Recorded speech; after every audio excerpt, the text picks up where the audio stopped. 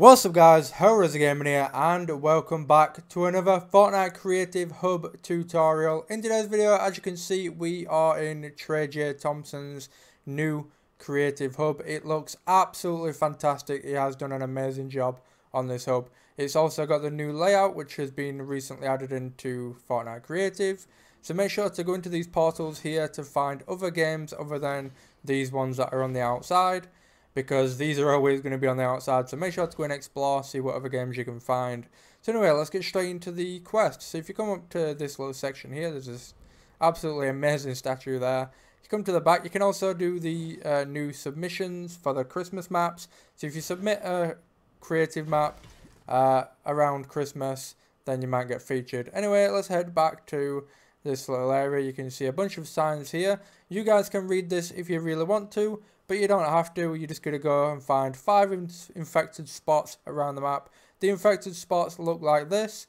The little dragon eggs, but they look like little infections. So once you press X on them, uh, well, whatever button it is for you to interact with it, it will glow up as if like you're burning it. So anyway, let's head on to the next location, which you will find just over here. So when you head over this side, so you want to come out that door, turn right, go over here, inside this little building, you're going to turn right and then you're going to find another infected spot just there. Press X on it or whatever it is on your device and then you can light it up. So we've found two. Now you want to find the third one which is just in this tree over here.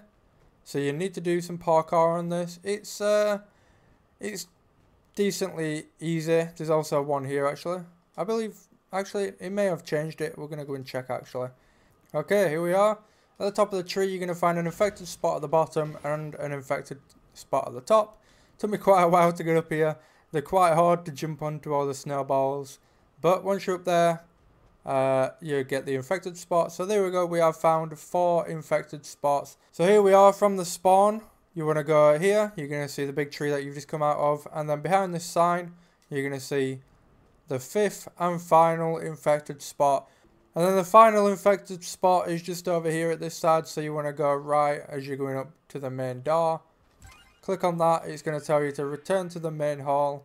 Which is just back over here. So that is all the five locations for the infected areas. So let's head back. You're going to see the signs changed.